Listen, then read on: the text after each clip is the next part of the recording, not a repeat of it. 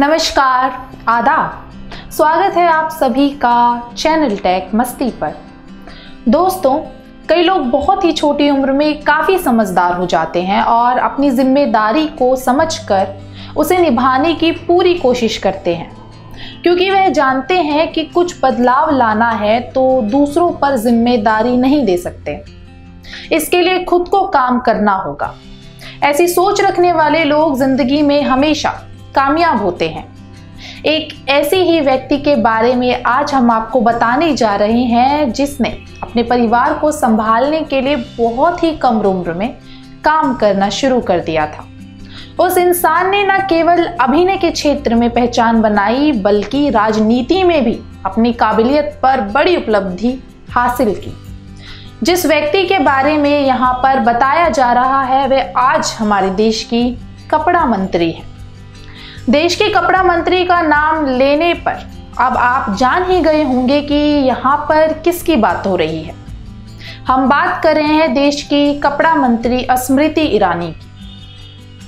उनके बारे में बताने से पहले आप चैनल को सब्सक्राइब कर लें। साथ ही बेल आइकॉन को भी दबा लें ताकि माया नगरी से जुड़ी हर बड़ी खबर आपको मिलती रहे। स्मृति ईरानी का जन्म दिल्ली में एक मध्यम वर्ग परिवार में 23 मार्च 1976 में हुआ। उनके पिताजी पंजाबी और माँ बंगाली हैं। उन्हें दो बहनें हैं और स्मृति ईरानी सबसे बड़ी हैं। अपना परिवार चलाने के लिए उन्होंने 10 की पढ़ाई के बाद ही काम करना शुरू कर दिया था। स्मृति ने 2001 में अपने बचपन के दोस्त जुबिन ईरानी से विवाह किया था। जुबिन ईरानी एक व्यापारी है और स्मृति के साथ उनकी ये दूसरी शादी है। वहीं शादी से इन दोनों के दो बच्चे हैं, एक लड़का और एक लड़की। लड़के का नाम जोहर है, जबकि लड़की का नाम जोइश है। स्मृति ईरानी ग्लैमर की दुनिया से काफ़ी प्रभावित हुई थी और उसके बाद उन्होंने फैसला किया कि उन्हें आगे बढ़ना है। मध्यम वर्ग से उन्हें छुटकारा पाना है।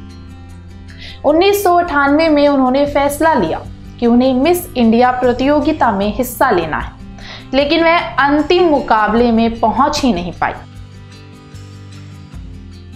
आखिरकार, उन्होंने मुंबई में जाकर एक नया करियर की शुरुआत करने का फैसला लिया।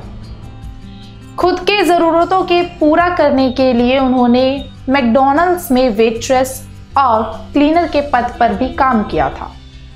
वे शुरू में सौंदर्य उत्पाद का प्रचार करती थी। उसके लिए उन्हें रोज़ाना दो सौ रुपए मिलते थे।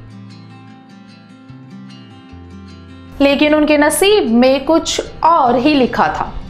स्मृति ईरानी को करियर में कामयाबी तक पहुँचने के लिए बड़ी तकलीफों का सामना करना पड़ा, तब जाकर उन्हें एक बार उहू ला ला ला का एपिसोड को होस्ट करने का मौका मिला। उस शो में उन्हें मशहूर अभिनेत्री नीलम कोठारी की जगह पर काम करने का मौका मिला था। उसके बाद उन्होंने कभी पीछे मुड़कर देखा ही नहीं। साथ ही उस शो को करने के बाद वह काफ़ी मशहूर हो चुकी थी और खास तौर पर मशहूर निर्माता एकता कपूर भी उनके अभिनय से काफ़ी प्रभावित हो चुकी थी। उसके बाद उन्हें स्टार प्लस पर, क्योंकि सास भी कभी बहू थी, जैसे सुपर हिट टीवी शो में काम करने का मौका मिला। इस नाटक में स्मृति ने तुलसी नाम की महिला का किरदार निभाया था। ये नाटक लोगों द्वारा बेहद पसंद किया गया था। ये नाटक 3 जुलाई 2000 से 6 नवंबर 2008 तक चला था वहीं, क्योंकि सास भी कभी बहू थी नाटक के अलावा। स्मृति ईरानी ने और भी कई सारे नाटकों में अपना अभिनय दिखाया है। जैसे, क्या हादसा, क्या हकीकत? रामायण, मेरे अपने और इत्यादि। इतना ही नहीं, उन्होंने बंगाली, हिंदी और तेलुगु भाषा की कुछ फ़िल्मों में भी काम किया है। स्मृति ने कई सारे रंगमंच में कार्य किया है, उसके बाद स्मृति ईरानी बहुत ही मशहूर हो गई और सभी लोग उन्हें पहचानने लगे थे। उस सीरियल में तुलसी का किरदार निभाने के लिए स्मृति ईरानी को कई सारे पुरस्कार भी मिले। सीरियल में काम करने के अलावा उन्होंने उनकी कंपनी उग्राय एंटरटेनमेंट के माध्यम से कई सारे शो किए। उन्होंने 2008 में यह है जलवा, जैसे डांस रियलिटी शो को भी होस्ट किया था। सब टीवी पर एक मनी बैंड डॉट कॉम, दो हज़ार नौ से 2010 तक। नाम की कॉमेडी सीरियल आती थी। तो सीरियल के माध्यम से उन्होंने यह भी साबित कर दिया कि वह एक अच्छी कॉमेडियन का भी किरदार निभा सकती हैं। स्मृति ईरानी बंगाली फ़िल्म में भी काम कर चुकी हैं। धीरे धीरे स्मृति ईरानी राजनीति में आने लगी और उनकी माँ जनसंघ के सदस्य बनी और उनके दादा आरएसएस के स्वयंसेवक थे। 2003 में ही स्मृति ईरानी ने भारतीय जनता पार्टी में प्रवेश किया था, उसके कुछ सालों बाद ही स्मृति ईरानी महाराष्ट्र युवा संघ की उपाध्यक्ष बन गई। 2004 के आम चुनाव में उन्होंने चांदनी चौक निर्वाचन क्षेत्र से चुनाव लड़े थे। लेकिन उस चुनाव को लड़ने के लिए उन्होंने कड़ी मेहनत की। इसलिए चुनाव में हार का सामना करने के बाद भी स्मृति ईरानी को केंद्रीय समिति का कार्यकारी सदस्य बनाया गया। धीरे धीरे स्मृति ईरानी आगे बढ़ती चली गई।